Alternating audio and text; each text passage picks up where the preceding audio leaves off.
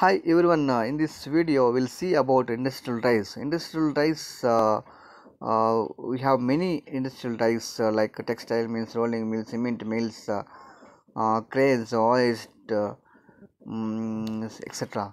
So in your syllabus you have two topics, one is textile mills and one more thing is um,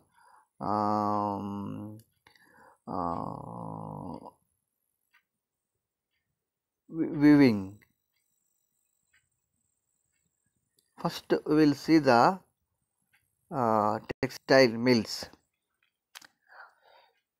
So, in a composite textile mills, the production of uh, takes in place in two stages. The first stage involves a spinning mill uh, for transformation of raw material to finished yarn. In the second stage, weaving, dyeing, and printing of cloth are done. So we have two uh, stages in this textile mills. Uh, First stage spinning. Second stage is uh, uh, final product. spinning consisting of uh, different operations: uh, picking, carding, drawing, and roving.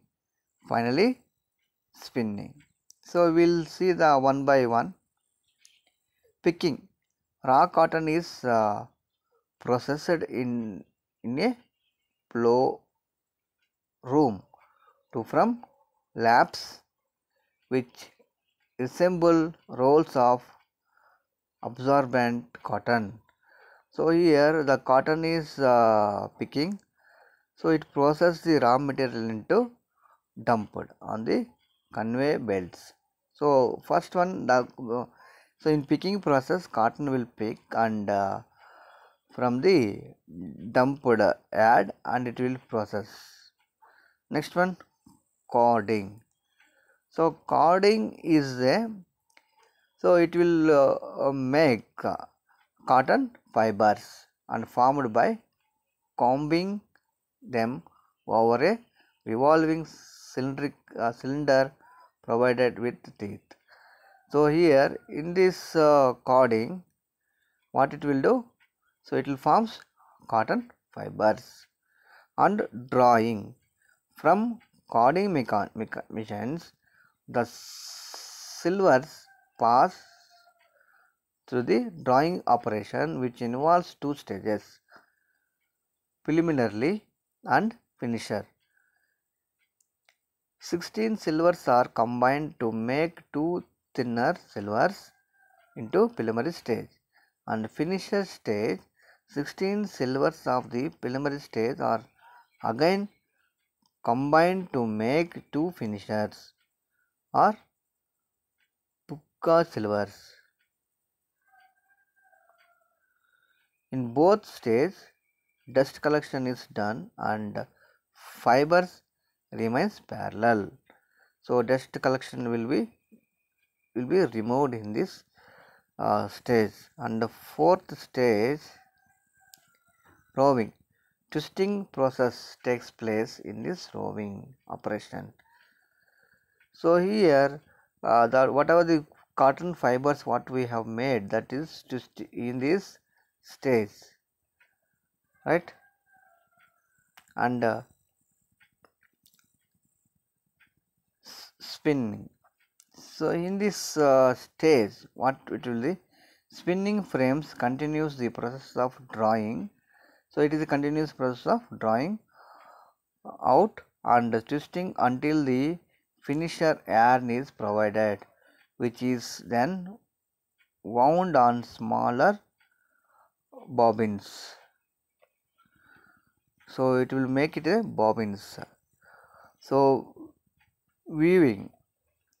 So the it is a process consisting con- consisting of inter interlacing two uh, uh, sets of yarn at right angles. The length wise yarn are threads which are called warp. Interlace with the cross crosswise threads which are collect, which are called weft or fitting. Individually, the threads are called picks.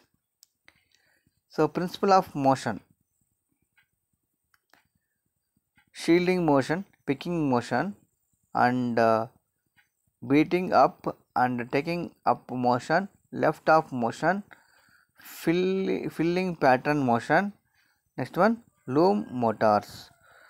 So these are the, the, process process we will discuss now. So principle of motion process. Sh- shedding motion. Warp the threads are, are put into two layers upper and lower layers. Picking motion.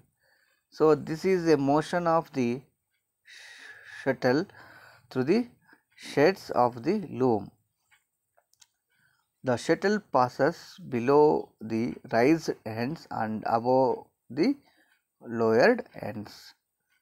Beating up. The loose picks are beaten into sheds to produce a compact cloth. It happens with the turning of the crankshaft and uh, taking up motion. This is related to moment of the stand roll or stand roller with uh, respect to the take up wheel. The cloth roller is controlled by the take up motion. Left off motion. The unwinding of the warps threads from the warp cylinder is known as left off. Filling pattern motion. This motion is required where more than one color is used. Next one loom motors. In power looms, 6 or 8 pole 3 phase case induction motors are used. So next one rolling mills. So these are two types primary and continuous mills. So reversing mills, uh, primary reversing mills mills. The primary reversing mills normally comprises slow speed drives normally 40 by 80 rpm. The function of the blooming mills is convert steel steel ingots into semi finished products. DC motors are used in this type of mills. These motors are directly connected over long spindle to the mill rolls. The motor capacity varies from 2.5 megawatts to 10 megawatt. Blue wave mills can be reversed from 50 rpm in forward direction and 50 rpm in reverse direction in just one second. So this is about uh, primary reversing mills, right? So plugging and dynamic brakings are used in this type of uh, mills. Next one continuous mills. So continuous mills uh, may, um, in primary mills we are doing reversing and forward operation. In continuous mills is it will not operate. Continuous mills uh, con- uh, comprise a series of roughing stands followed by finishing stand. Modern continuous mills are provided with individual motor drives at each stand. Synchronous motor wound rotor motors are or DC motors are used. Synchronous uh, motors or wound rotor induction motors are used. So this speed we can control by varying this field excitation on those things and R resistance.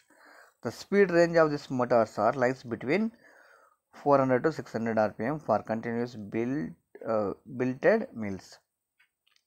So in continuous bar mills, numerous stands are used. The stands can be divided into number of groups. Groups divided divides are used. The speed range lies between 300 to 900 rpm. Continuous bar mills are 300 to um, 900, uh, but continuous uh, mills are 400 to 600 rpm. So which is suitable that may that one we will use, right? Okay, thank you everyone. So this is, this is a very very important one. Uh, so they may ask you to explain uh, um, uh, textile mill or uh, another one is uh, rolling mills. So, you have to explain this you have to study these two things very very important textile mills and rolling mills okay thank you everyone